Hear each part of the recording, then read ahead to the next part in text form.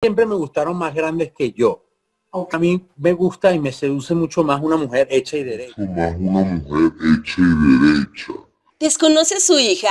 Rosalba Ortiz, más allá de ser una madre abnegada y estar muy al pendiente de sus nietas, como hemos sido testigos, no lleva una buena relación con la actriz Geraldine Bazán, ya que desde que terminó su relación con el padre de sus hijas, Gabriel Soto, ambas han tenido sus discusiones porque a Rosalba se le va la lengua a la hora de hablar con la prensa.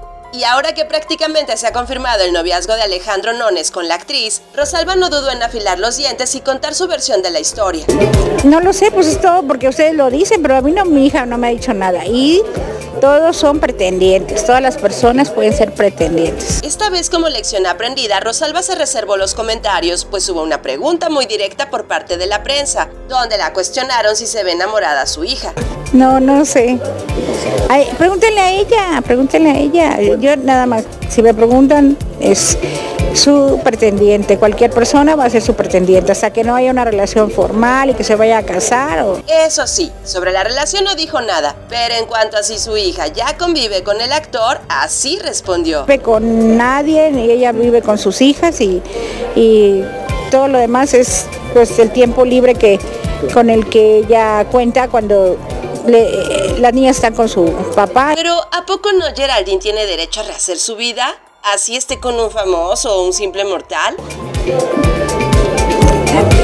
Claro, como todos y todas. Cabe mencionar que Alejandro Nones y Geraldine Bazán se conocieron en plenas grabaciones de la telenovela Corona de Lágrimas. Y justo en un plano amoroso, pues ambos tienen algo que ver en las escenas. Así que prácticamente eso ayudó a que haya un acercamiento más allá de lo profesional entre el guapísimo actor y la hija de Doña Rosalba.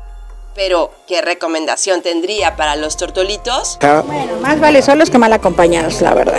Eso. No, yo no le tengo que decir nada. Ella, ella ya tiene la suficiente conciencia y es muy inteligente, ya sabe cómo organiza su vida y cómo llena sus, su espacio. Eso sí, el carácter del actor parece ser muy fuerte, así que cuidado con eso Geraldine, ya que recientemente mediante una entrevista con la prensa, Pudimos notar cómo sacó las garras defendiendo su privacidad, y no se le critica eso, sino la forma en cómo respondió de manera tan impulsiva y sin sutileza. Pero tú siempre preguntas lo mismo que yo nunca te voy a responder, tú haces el, tu trabajo y yo hago el mío, que es hablar de, de, de ahora el 18 de, de, mayo estreno la tercera temporada aquí en Mato a Sara. Eso no me lo preguntaste, que es más importante, o estoy grabando...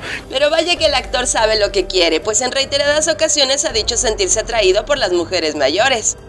Aunque eso contrasta con la edad que tiene nuestra Geraldine, porque ambos tienen 39 añitos. A mí nunca me han gustado las, jovencitas, pues. ¿Qué pasará entre estos tortolitos? Solo el tiempo lo dirá, pero ojalá que se sigan tratando, porque tan solo en la convivencia es cuando conoces realmente a tu pareja.